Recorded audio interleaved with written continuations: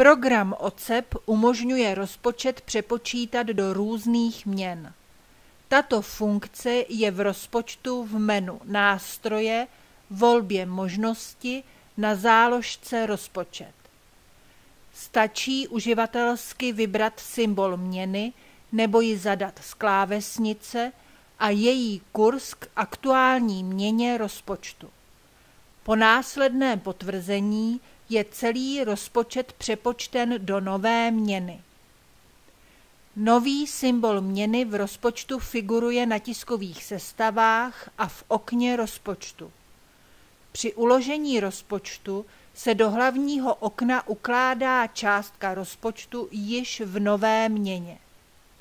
Rozpočty v jiné měně mohou být podle uživatelského nastavení v možnostech hlavního okna na záložce obecné signalizovány sloupcem v tabulce rozpočtů.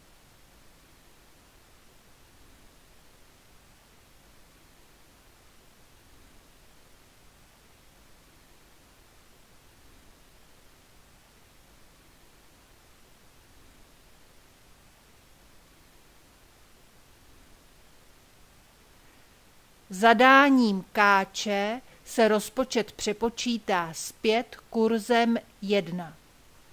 Aktuální kurz nekorunové měny lze kdykoliv upravit podle skutečnosti.